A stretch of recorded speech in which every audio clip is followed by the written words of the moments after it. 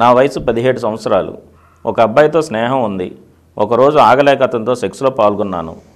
అతను కేవలం అంగప్రవేశం చేశాడు తప్ప ఇంకేమీ చేయలేదు.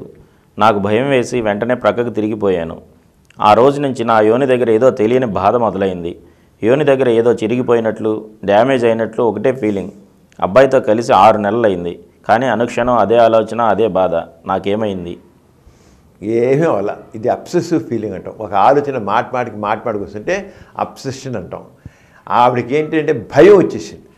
నాకేదో అయిపోయింది నాకేదో అయిపోయింది. ఏదో అయిపోయింది ఏదో ఏంటి అసలు? అసలు అబ్సెస్ ఏదో అనుకుంటే సరిపోయిందా? ఒక గిల్టీ ఫీలింగ్. తప్పు చేశాను తొందరపడ్డాను.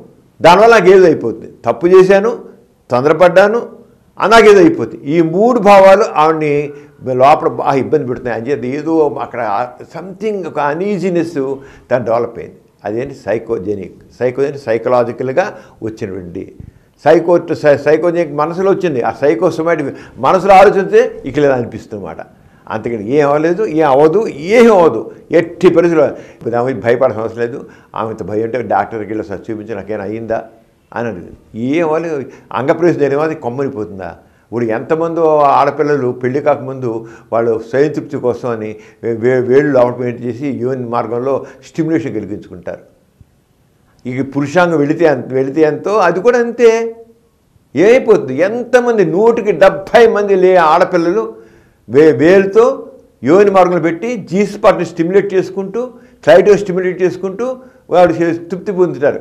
కిన్సే ఎంత విస్తృతంగా కొన్ని వేల మంది మీద పరిశోధన చేసి డబ్ శాతం మహిళ అమ్మాయిలు సయతృప్తి అలవాటుకి లోనై ఉంటారు అని తేల్చి చెప్పారు అంచేది అది చాలా కామన్ అది అబ్బాయి ఒకసారి ఏదో పెనట్రేట్ చేసినంత మాత్రాన విజయనాలు పెనట్రేట్ చేసిన ఏం అయిపోదు.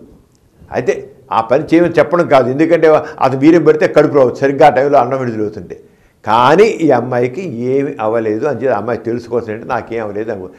ఐఎమ్ ఓకే నాకేం అవ్వలేదు అనుకుంటే తన మనసు సరిపెట్టుకుంటే ఆ బాధ ఏముండదు షీల్ బి ఆల్ రైట్ మరిన్ని కొత్త వీడియోల కోసం మా ఛానల్కి సబ్స్క్రైబ్ చేయండి. క్రింద ఉన్న బెల్ ఐకాన్ని యాక్టివేట్ చేయండి.